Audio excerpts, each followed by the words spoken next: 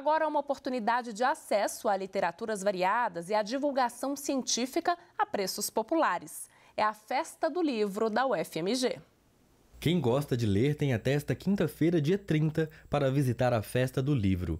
Diversas editoras se reúnem na UFMG e oferecem títulos variados para todos os gostos. A nossa festa é em torno do livro e das possibilidades de criação de outras, de outros universos e também da divulgação científica que, que, é, que é obtida através do, do próprio livro. Né? 53 editoras estão presentes no evento. E nesta edição, a universidade fomentou a participação de publicações independentes. Eu escolhi nove editoras independentes.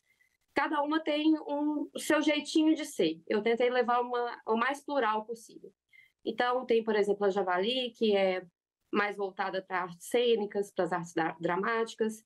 É, tem uma editora que é a Cata Poesia, que ela é voltada, por exemplo, para a edição cartoneira, que é uma proposta muito interessante, que é, são livros feitos com papelão. Um critério também que eu observei bastante foram é, editoras que tivessem uma boa qualidade gráfica, que fizessem livros não só é, importantes e necessários para a cena, mas também bonitos. Em um mercado competitivo e desafiador como o de livros, as editoras independentes têm garantido um espaço pela sua forma de atuação.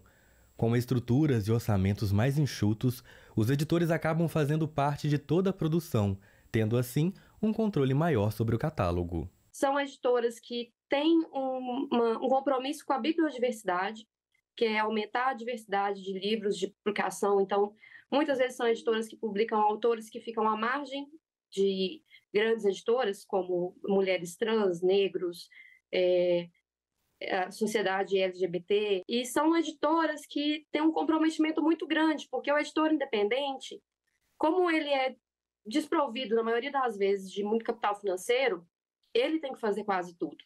Então, ele acompanha a publicação toda de muito perto, é, é ele quem escolhe o original, financia as nossas próprias publicações, pra, como uma forma de é, conseguir dar vazão ao material que a gente acredita. Para a Samara, essa é uma boa iniciativa da UFMG e uma boa oportunidade para o público que vai ter acesso a diferentes catálogos. É muito relevante. Essas pequenas casas elas precisam ter espaço de comercialização e elas precisam ter incentivo para isso.